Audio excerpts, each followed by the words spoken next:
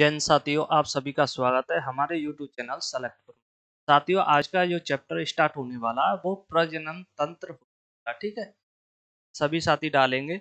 प्रजनन तंत्र, यानी का रिप्रोडक्टिव सिस्टम सबसे पहले देखेंगे चैप्टर स्टार्ट होने से पहले प्रजनन तंत्र होता क्या है? वह प्रक्रिया जिसमें माता पिता के द्वारा किसी युगमज का निर्माण होता है, उसे क्या बोलते हैं? प्रजनन तंत्र बोलते हैं। जैसे माता पिता के द्वारा फिजिकली रिलेशन होता है, उसके बाद जो न्यू जनरेशन उत्पन्न होती है, उसी को क्या बोलते हैं? प्रजनन तंत्र, ठीक है? लिखेंगे इसको। ऐसी प्रक्रिया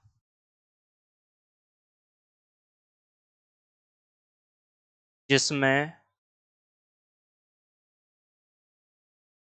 माता पिता के द्वारा माता पिता के द्वारा युगमज का निर्माण होता है।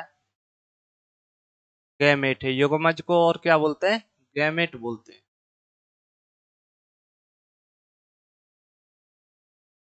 का निर्माण होता है।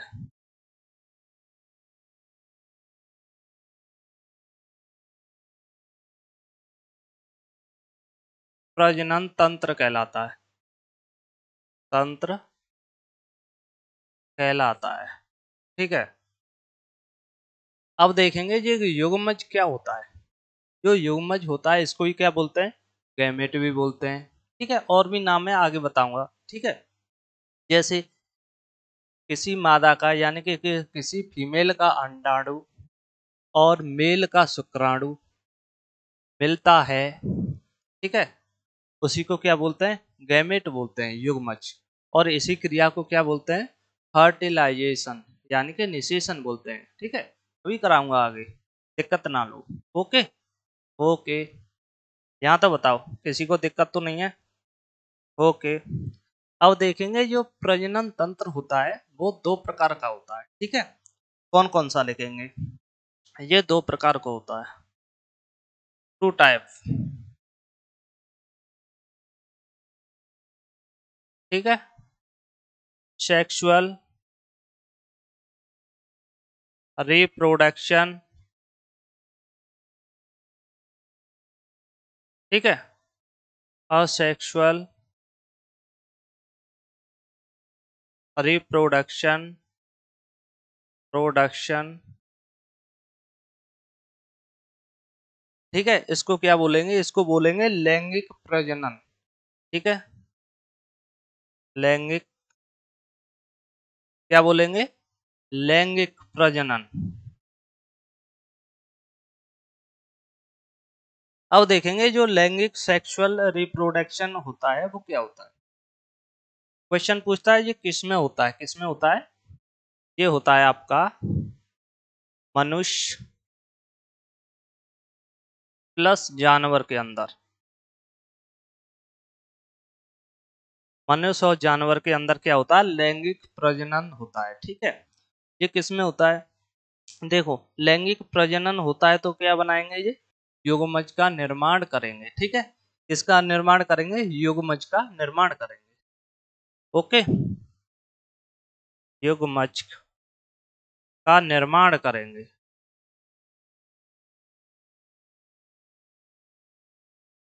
करेंगे।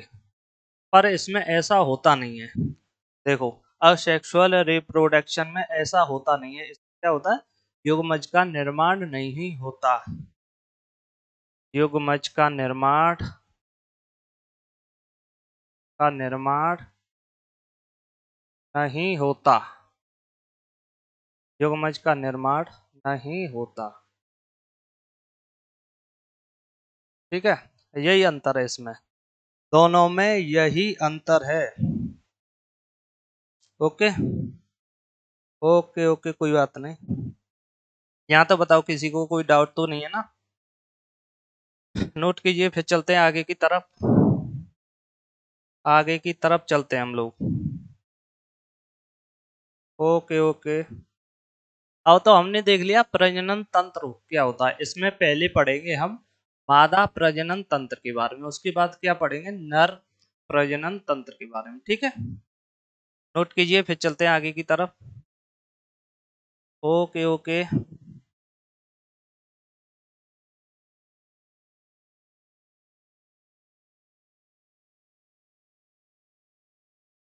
ठीक है ठीक है, कोई बात नहीं। कोई बात नहीं, कोई बात नहीं। पीडीएफ मिल जाएगी आपको, एप्लीकेशन पर मिल जाएगी।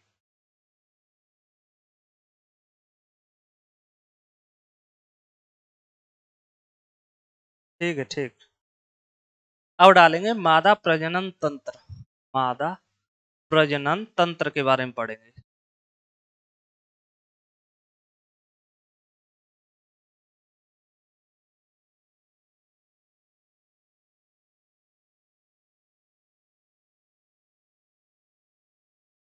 मादा प्रजनन तंत्र।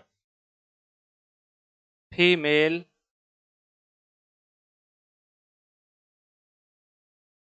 रिप्रोडक्टिव सिस्टम जो मादा प्रजनन तंत्र होता है, ये भी दो टाइप का होता है। एक तो प्राथमिक मादा प्रजनन तंत्र, ठीक है? और एक होता है द्वितीय मादा प्रजनन तंत्र। ओके? Okay okay. ठीक। ये टू टाइप का होता है। फीमेल मादा प्रजनन तंत्र टू टाइप का होता है primary sex organ primary sex organ ये होता है सेकेंडरी सेक्स ऑर्गन ठीक है टू टाइप का होता है क्वेश्चन क्या पूछता है इसमें जो हमारे मादा प्रजनन तंत्र के अंदर प्राइमरी सेक्स ऑर्गन कौन सा होता है और सेकेंडरी सेक्स ऑर्गन कौन सा होता है? ठीक है?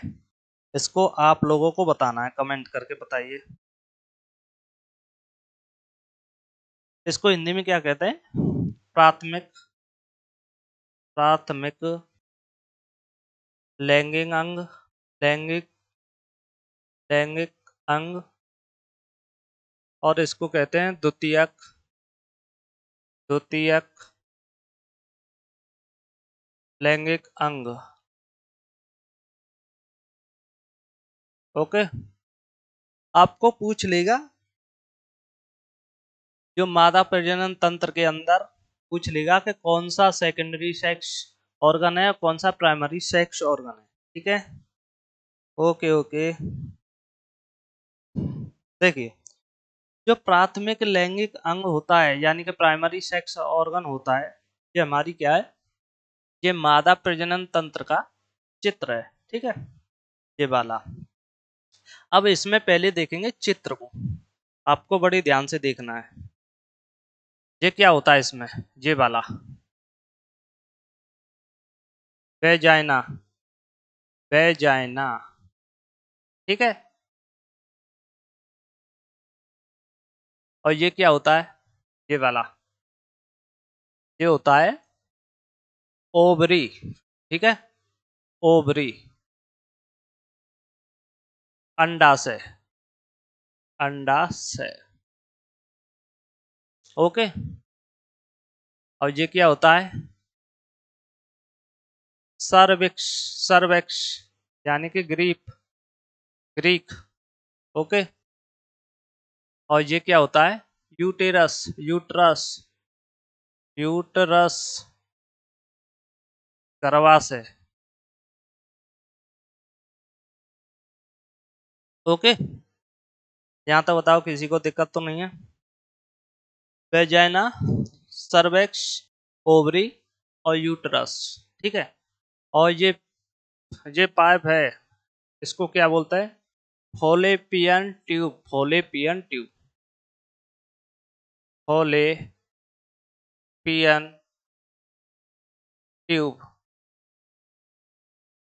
अंडवाहनी नलिका अंडवाहनी नलिका बोलते हैं इसको। यहाँ तक बताओ पहले तो यहाँ तक किसी को दिक्कत तो नहीं है? यहाँ तक किसी को दिक्कत तो नहीं है? Okay okay.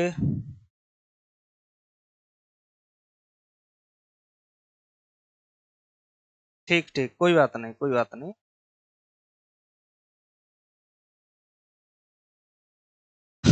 ये सारी चीज़ें हमने देख लिया, ठीक है?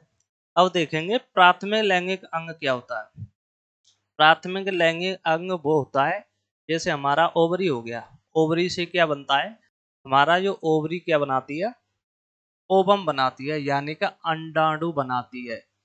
तो ये किसमें आएगा? प्राथमिक लैंगिक अंग में आएगा। ठीक है? स्टार्टिंग वाला।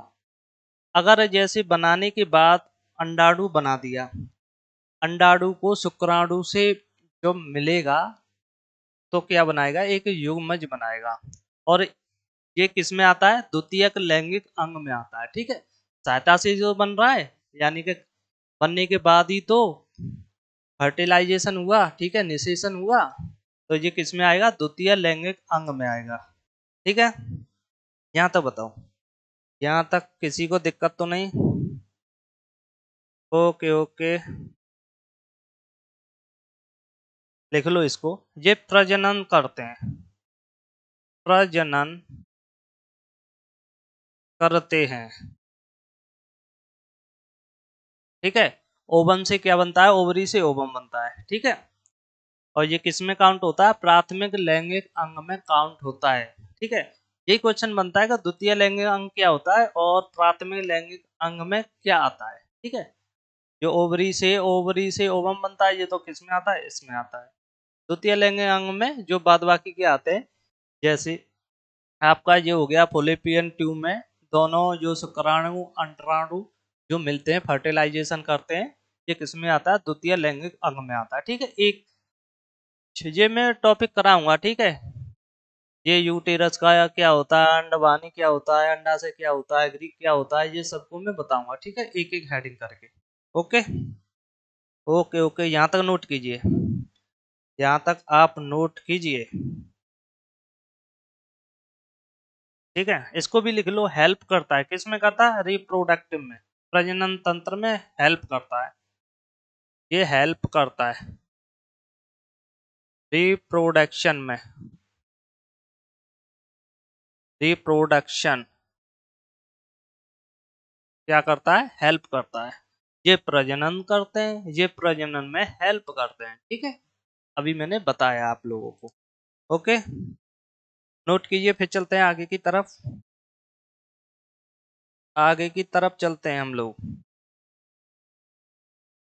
इसका नाम बताइए। जो अंडाशय है ना, ये गर्भाशय से जुड़ा हुआ है। इस नली का नाम बताइए। आप लोग इस नली का नाम बताएँगे। इस नली का नाम। अंडाशय से गर्भाशय जो जुड़ा हुआ है, इस नली का नाम बताएँगे आप लोग। बताओ।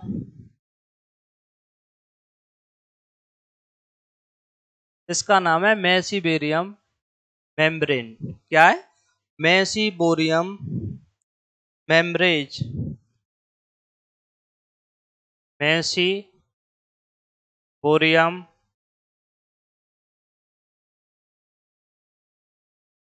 मेम्ब्रेन। ठीक है? मैसीबेरियम जिल्ली। इसको मैसीबेरियम जिल्ली बोला जाता है। ओके? यहाँ तक बताओ। इस पार्टों के नाम भी पूछ लेता है, ठीक है? ये क्या होता है, ये क्या होता है, ये ओवरी क्या होता है, इस जो आपके गर्भाशय से अंडा से जुड़ा हुआ है, इस नली को क्या कहते हैं? मैसीबोरियम मेम्ब्रेन कहते हैं, यानी कि झिल्ली कहते हैं, ठीक है? जो बच्चा रहता है, हमारे कहाँ पर रहता है? गर्भाशय में रहता है, गर्भाशय। इसको गाँव में क्या बोलते हैं? बच्चेदानी वगैरह। बोलते हैं, ठीक है? अब नंबर वाइज नंबर पढ़ेंगे अब, ओके? Okay okay.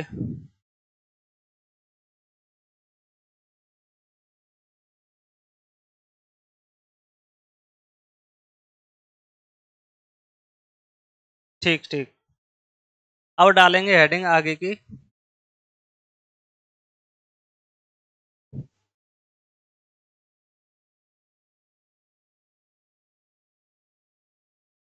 और डालेंगे फेलोपियन ट्यूब। Fallopian tube. ठीक है? फेलोपियन ट्यूब के बारे में पढ़ेंगे। इसको क्या बोलते हैं? अंडवाहनी नलिका। वाहनी नलिका। इसमें क्या होता है ऐसा? इसमें ऐसा होता है सबसे इम्पोर्टेंट काम होता है इसके अंदर, ठीक है? सबसे इम्पोर्टेंट काम होता है, क्या होता है? जैसे, ये हमारा क्या हो गया? यहाँ से हमारा स्पर्म स्पर्म चला गया, ठीक है? इस तरह से स्पर्म जाएगा जाएगा और यहाँ होके, और इस नली में होके, यहाँ से होके, यहाँ से होके और यहाँ पर, ठीक है? यहाँ पर क्या होगा? स्पर्म मिलेगा, यानी कि शुक्राणु मिलेगा, और यहाँ से ओवरी से क्या मिलेगा? ओवम मिलेगा, और दोनों का, दोनों एक साथ मिल जाएँगे, और इसी क्रिया को क्या बोलते हैं? फर्टिलाइजेशन बोलते हैं। ठीक है? और मिलने के बाद किसका रूप ले लेता है? युगमज का रूप ले लेता है, जाइगोट का रूप ले लेता है, गैमेट का रूप ले लेता है। ठीक है? इसमें लिखेंगे पॉइंट वाइज पॉइंट लिखेंगे। निषेचन की क्रिया। निषेचन। निषेचन की क्रिया।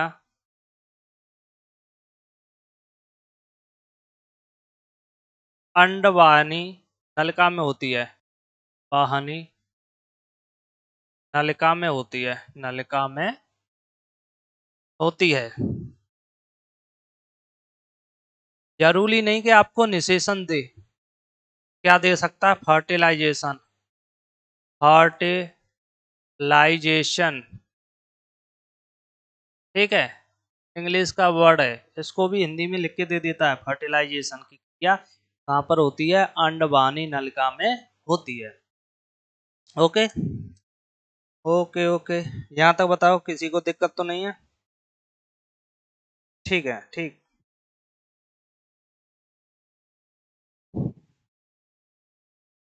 देखो। यहाँ से स्पर्म गया हमारा यहाँ ओके ठीक है? और यहाँ से ओवम से क्या मिला? ओवरी से ओवम मिला। तो क्या हो गया? एक गैमेट का रूप ले लिया।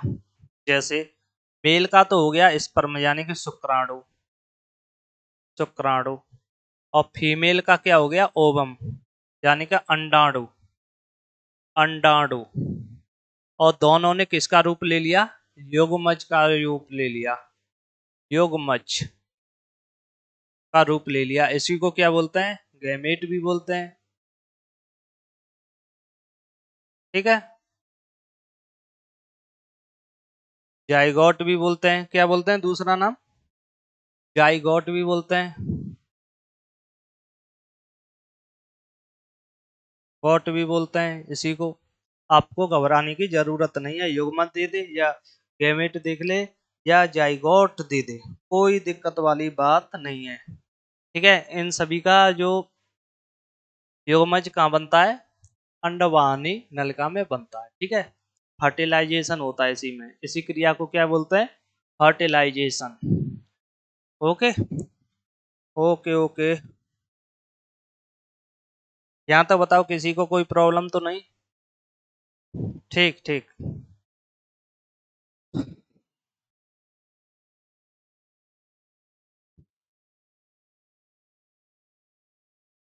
नोट कीजिए, फिर चलते हैं आगे की तरफ़। हमारा क्या हो गया?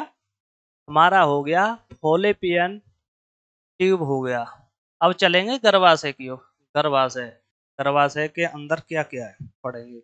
ओके?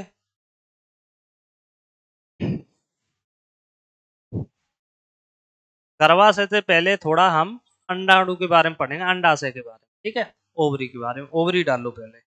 ओवरी। इसको बोलते हैं अंडाशय अंडाशय जो ओवरी की संख्या होती है मादा के अंदर यानी कि फीमेल के अंदर वो कितनी होती है? एक तो एक ये हो गई, एक ये हो गई, यानी कि दो होती है। ठीक है? इनकी संख्या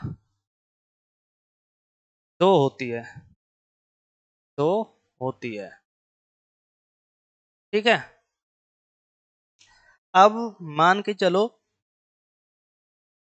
एक महीने तो इससे ओवम बनेगा और अगले महीने इससे बनेगा। एक महीने में केवल एक ओवरी से ही ओवम बनता है, ना कि दोनों एक साथ बनते हैं। ठीक है? दोबारा से सुनो, पहले महीने इसमें ओवम बनेगा ओवरी से और दूसरे महीने इसमें बनेगा, यानी कि एक महीने में एक ओवरी से एक ओवम बनता है, ठीक है? इनकी संख्या दो होती है। ओके, यहाँ तक कोई दिक्कत नहीं। अब देखते हैं जो इसकी जो टाइम पीरियड होता है वो कितना होता है। दो से तीन दिन होता है। दो से तीन दिन, दो से तीन दिन इनका जीवन काल होता है। जीवन काल होता है।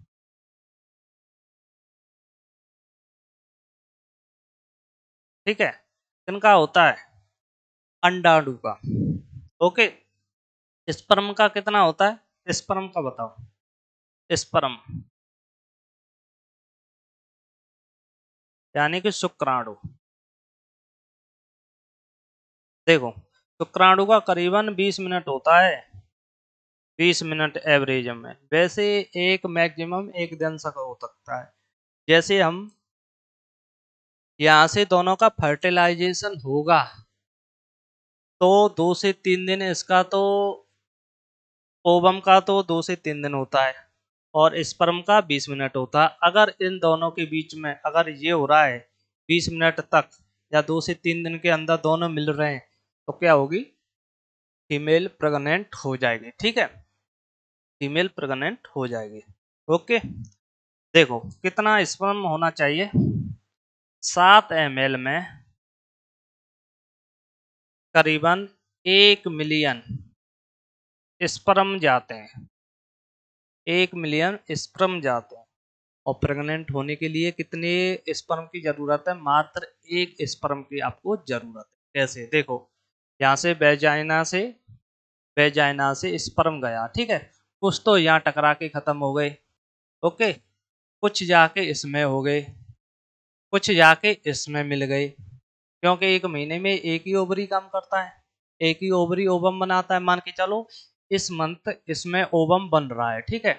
जो यहाँ से मिलियनों, जो मिलियन स्पर्म गए, यहाँ से यहाँ टकरा के मर गए, यहाँ गए, टकरा के मर गए, कुछ यहाँ रह गए। केवल एक ही मिलेगा और उसी से क्या हो जाएगा? फर्टिलाइजेशन हो जाएगा, यानी कि निशेषण हो जाएगा। ओके? ओके। ठीक ठीक। यहाँ तक बताओ। यहाँ तक किसी को दिक्कत? यहाँ तक किसी को दिक्कत बताओ हो तो। चलिए चलते हैं आगे की तरफ़। हो गया नोट? हमने ओवरी के बारे में पढ़ लिया, ठीक है?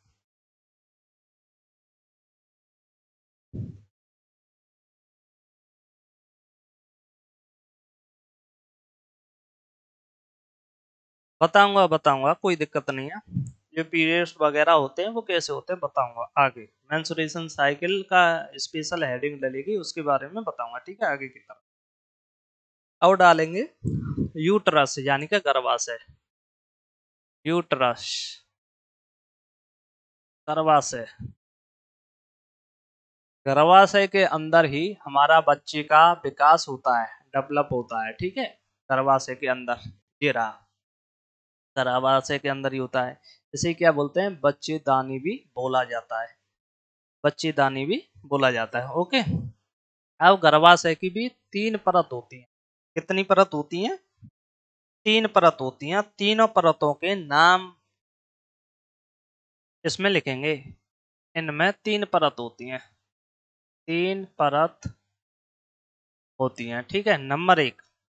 नंबर वाइज नंबर डालेंगे, कोई दिक्कत नहीं है। पर मेट्रियम पर मेट्रियम पर मेट्रियम ठीक है, दूसरी का नाम डालेंगे, तीसरी का नाम डालेंगे। दूसरी का नाम है एंडोमेट्रियम एंडो मेट्रियम और तीसरी का नाम डालेंगे मायोमेट्रियम। मायो मेट्रियम।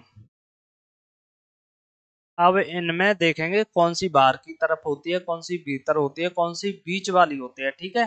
बीच वाली कौन सी होती है? मिडल वाली तो ये होती है, ठीक है? अंदर वाली ये होती है, बाहर वाली ये होती है, ठीक है?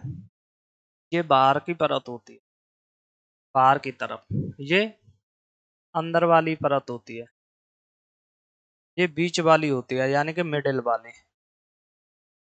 मिडल। ठीक है इन वाली होती है ये आउट वाली होती है।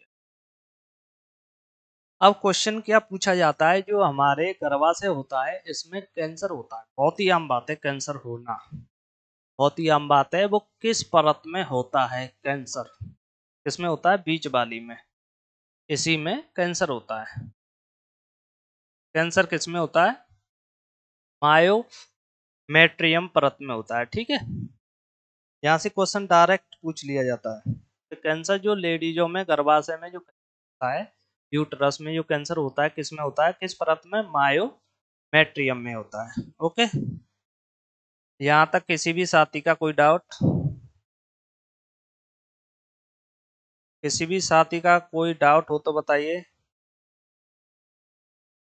देखो, हमने ओवरी के बारे में पढ़ लिया, फेलोपियन ट्यूब के बारे में पढ़ लिया यूटेरस के बारे में पढ़ लिया। ठीक है? जो यूटेरस में जो बच्चा रहता है, वो कितने दिन तक रहता है? नौ माह तक रहता है। ठीक है? जैसे यहाँ से, दोबारा से देख लो, यहाँ से स्पर्म गए, बहुत सारे मिले और सभी नष्ट हो गए। एक ओवरी ओवम के साथ मिल गए यहाँ पर।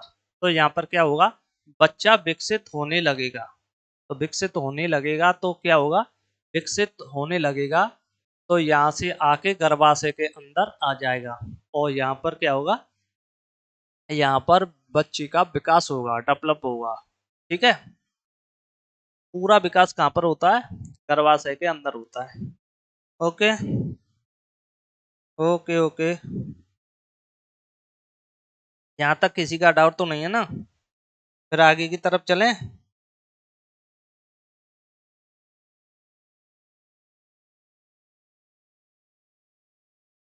ठीक ठीक, कोई बात नहीं।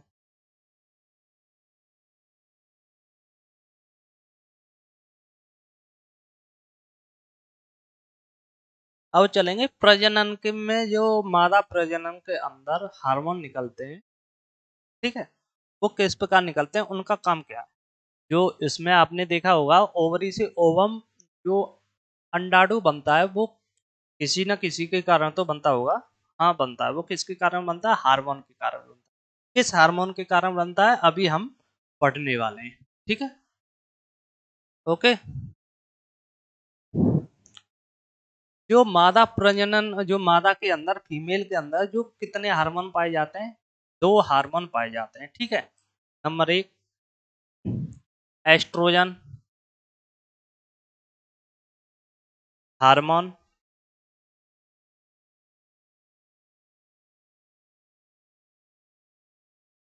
और दूसरा कौन सा पाया जाता? Progesterone hormone. ठीक है? अब पहले पढ़ेंगे एस्ट्रोजन हार्मोन के बारे में। ठीक है? Estrogen hormone. इनका काम क्या है? फीमेल के अंदर इन हार्मोनों का काम क्या है?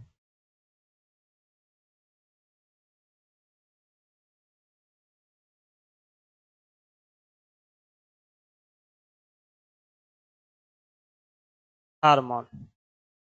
ओके? इनका काम क्या है? एस्ट्रोजन हार्मोनों का काम क्या है? आप लोग बताएँगे, कमेंट करेंगे। जो हमें जो हमने अभी बताया था एस्ट्रोजन हार्मोन का काम जो है, वो क्या है? अभी बताया था हमने जो ओवम से ओवरी से ओवम बनता है इसके कारण बनता है? एस्ट्रोजन हार्मोन निकलने के कारण ही बनता है। ठीक है? ये अंडाणु बनाने का कार्य करते हैं। अंडाणु बनाने का कार्य करते हैं। कार्य करते हैं। और क्या करते हैं? दूसरे नंबर बताओ। और क्या क्या काम है इनका? और क्या क्या काम है? ये ब्रिस्ट का साइज़ बढ़ाने के काम करते हैं। ब्रिस्ट यानी कि स्तनों का साइज़ बढ़ाने में काम करते हैं।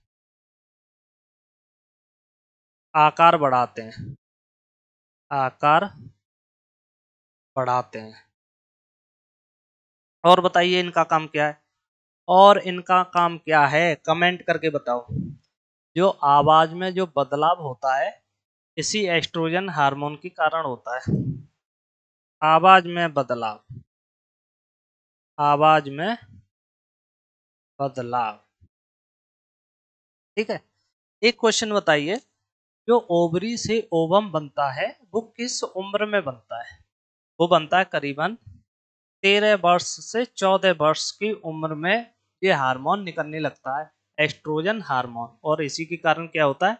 अंडाणु बनते हैं और ब्रिस्ट का साइज़ बढ़ता है और आवाज़ में बदलाव आता है। ठीक है? और इसी के कारण एक और चीज़ होती है, जो हमारी मेंस जो मासिक धर्म होता है, इसी के कारण स्टार्ट होता है। मैंसुरेशन साइकिल इसी के कारण स्टार्ट होती है, ठीक है? अगर ये एस्ट्रोजन हार्मोन नहीं निकलेगा तो ये काम नहीं होंगे, ठीक है? अगर ये काम नहीं होंगे तो क्या होगा? फीमेल प्रेग्नेंट नहीं होगी, ठीक है? और इसी को गाँव में बोलते हैं ना, बाज वगैरह होता है, बाज हो गई तो ये भी कारण हो सकते हैं। और दूसरा कारण क्या हो सकता है? जो बच्चे वगैरह नहीं होते ना फीमेल पर, अगर आपका जो हेलोपियन ट्यूब होगी ये पतली होगी, तब भी यही कारण बन सकता है कि बच्चे वगैरह ना हो। मान के चलो, इसमें यहाँ से स्प्रम गया और यहाँ से ओवम बल्कि यहाँ बच्चा विकसित हो गया। बच्चा विकसित हो गया और जो अंडवानी है नल का, ये पतली है, काफ़ी पतली है। तो इसमें क्या होगा? ये ढकेलेगा, बच्चा ढकेलेगा नहीं। गर्भाशय की ओर और, और यहीं पर विकसित होगा तो ये फटने का चांस होती है। और डॉक्टर क्या बोलते हैं? और डॉक्टर क्या कर देते हैं? अबॉर्शन कर देते हैं। ठीक है? ओके ठीक ठीक। यहाँ तक नोट कीजिए फिर चलता है आगे की तरफ़। लो स्क्रीनशॉट लो। फिर आगे की तरफ़ चलते हैं हम लोग।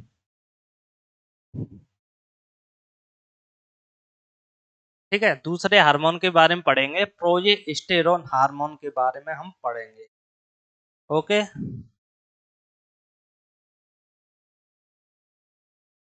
ठीक है।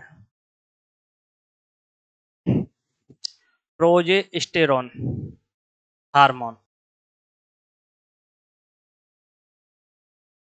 बस प्रोजेस्टेरोन हार्मोन का एक ही काम है। जैसे गर्भाशय में बच्चे का विकास कराने में जो मदद करता है, वो प्रोजेस्टेरोन होता है। ठीक है? और जो प्लेसेंटा होता है, गर्भनाल होता है, ठीक है? गर्भनाल होता है, उसमें भी दोनों में ये काम कराता है। ठीक है? सहायता करता है विकास करने में। ठीक है? Okay okay.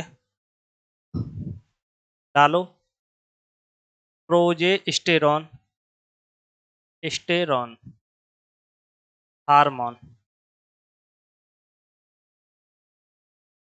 इसका काम देखेंगे। क्या कर रहे हो? कोई दिक्कत नहीं, पीडीएफ मिल जाएगी। आपको प्ले स्टोर पर जाना है और एप्लीकेशन को डाउनलोड करना है। सेलेक्टपुर ऑफिशियल के नाम से प्ले स्टोर पर मिल जाएगी और वहाँ से पीडीएफ डाउनलोड कर सकते हो, ठीक है? इसका काम लिखेंगे। गर्भाशय में। प्लेसेंटा सेंटा और युगमच युगमच ठीक है, प्लेसेंटा और युगमच का निर्माण करने में मदद करता का निर्माण करने में मदद करता है। मदद करता है। कौन करता है? प्रोजेस्टेरोन हार्मोन, ठीक है? प्लेसेंटा।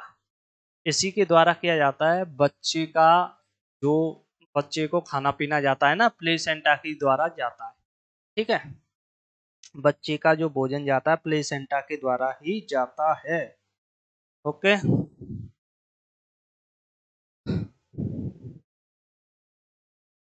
Okay okay. अब पढ़ेंगे जो पीरियड्स वगैरह होते हैं ना, उनके बारे में पीरियड्स के बारे में हम पढ़ने वाले हैं। यहाँ तक नोट कीजिए, फिर हेडिंग डालते हैं पीरियड्स जो मेंसुरेशन साइकिल वगैरह होती है, वो किस प्रकार होती है, ठीक है? और जो फीमेल प्रेग्नेंट वगैरह होती है, कब होती है, ठीक है? सभी इसी वीडियो में पढ़ने वाले नंबर बाय नंबर पढ़ेंगे। ओके ओके ओके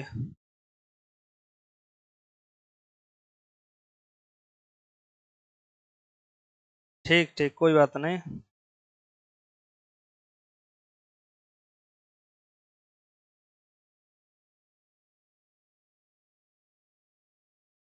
अब डालो M C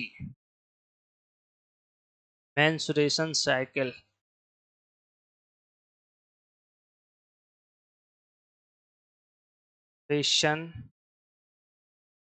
menstruation cycle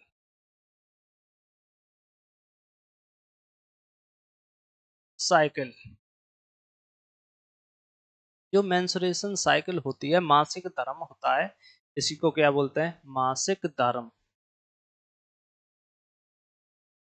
ठीक है? इसी को मासिक धर्म भी बोलते हैं। एक सेकेंड इंक डाल लेता हूँ थोड़ा।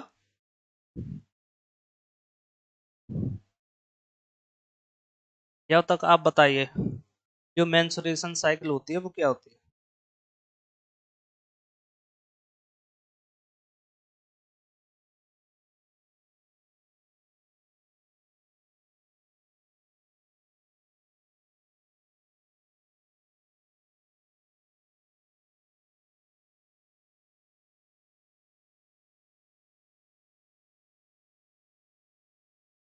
ये बताइए क्वेश्चन आप क्वेश्चन बताइए, एक साल में कितनी बार मेंसुरेशन साइकिल कितनी बार? कितनी बार होती है? तेरह बार होती है, क्योंकि मेंसुरेशन मासिक जो धर्म होता है, वो अट्ठाईस दिन का काउंट होता है। इसी वजह से जो एक साल में मासिक धर्म तेरह बार आता है, ठीक है?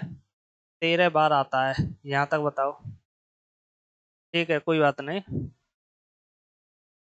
अल्लो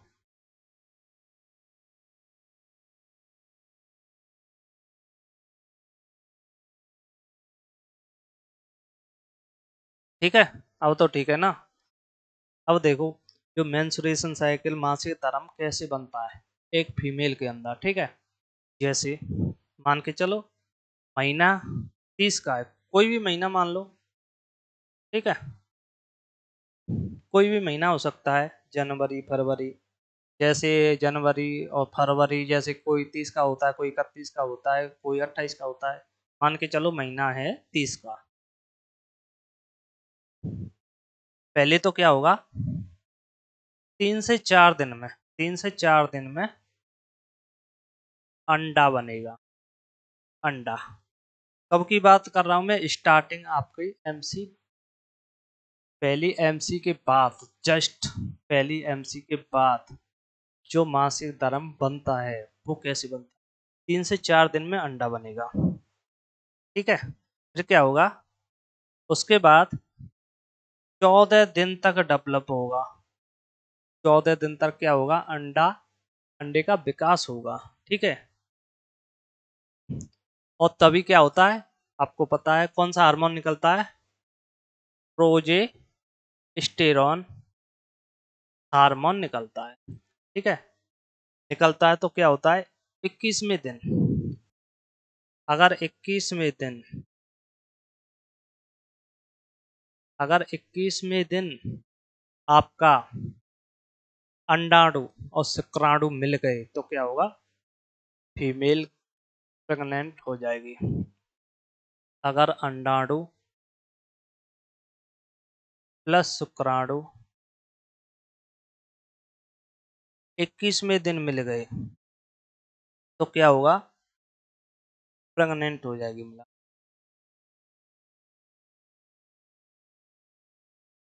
ठीक है? प्रेग्नेंट हो जाएगी। अगर मान के चलो इक्कीसवें दिन नहीं मिला, यहाँ से स्पर्म गया और यहाँ से ओवरी से ओवम बन के चला गया तो क्या होगा? इक्कीसवें दिन हंड्रेड परसेंट प्रेगनेंट हो जाएगी महिला अगर मान के चलो स्पर्म नहीं गया और अंडा यहाँ से होकर निकल गया तो क्या होगा? वो ब्लड के रूप में बाहर निकल आएगा। उसको स्पर्म मिलेगा नहीं इक्कीसवें दिन?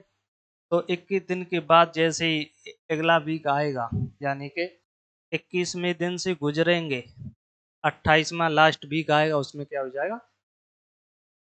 मासिक धर्म हो जाएगा, यानी कि मेंसुरेशन साइकिल हो जाएगी। ठीक है? मेंसुरेशन साइकिल हो जाएगी। अगर इक्कीसवें दिन जो आपका अंडाणु, शुक्राणु मिल गए तो महिला क्या हो जाएगी? प्रेग्नेंट हो जाएगी। ठीक है? ओके आपको पता चल गया मासिक धर्म कैसे होता है, किस रूप में ब्लड निकलता है, जो अंडा होता है। ब्लड के रूप में बाहर निकलता है। के रूप में बाहर निकलता है। ठीक है, और इसी को क्या कहते हैं? मैंचुरेशन साइकिल यानी कि मासिक धर्म। ओके? अलग से ब्लड नहीं निकलता है, ये ब्लड का ही रूप होता है अंडा। ठीक है कि नहीं? Okay okay. यहाँ तक बताओ, किसी को दिक्कत तो नहीं है?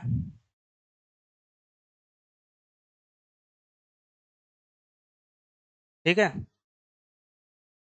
आप काउंट वगैरह कर सकते हैं। ज़रूरी नहीं कि तीस का महीना हो। मान के चलो किसी का महीना सात तारीख को होता है। सात तारीख से लगा लो, तीन से चार दिन। अंडा अंडा बनेगा और चौदह दिन में विकसित होगा। और प्रोजेस्टेरॉन जो हार्मोन निकलता ही है और इसकी सहायता से क्या होगा? इक्कीस अगर दोनों मिल गए। क्या होगा? प्रेगनेंट हो जाएगा।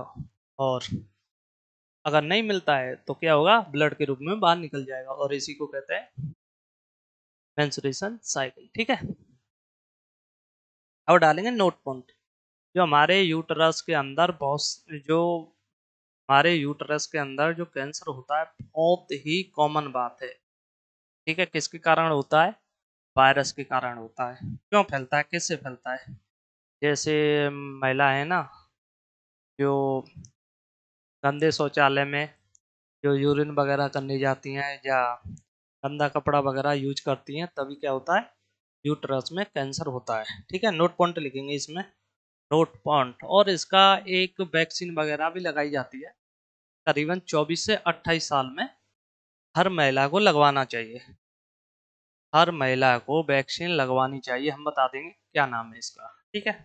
वैक्सीन का नाम बता देंगे। यूट्रस कैंसर होता है, इसका दूसरा नाम भी है, उसका नाम है कर्विकल कैंसर। क्या है? Cervical cancer. ठीक है? हेडिंग डालो note point uterus cancer cancer ठीक है? और इसी को दूसरा नाम क्या है? दूसरा नाम है कर्बिकल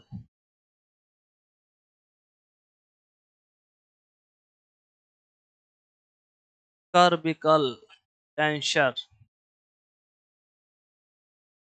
कर्बिकल कैंसर